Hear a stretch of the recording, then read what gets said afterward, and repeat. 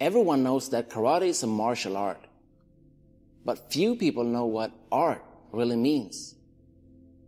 Art's not something you hang on the wall. Art's something you do. And it always involves a learning process. The problem is, some people just hate learning. I know why. Because to learn something new means admitting that you didn't know something before. Knock knock. Who's there? Your ego. Learning doesn't require humility.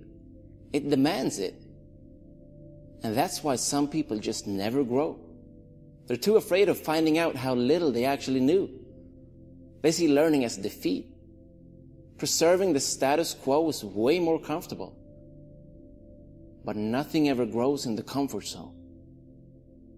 So learn and keep learning. Because the day you stop learning is the day you stop living. That's the art of karate.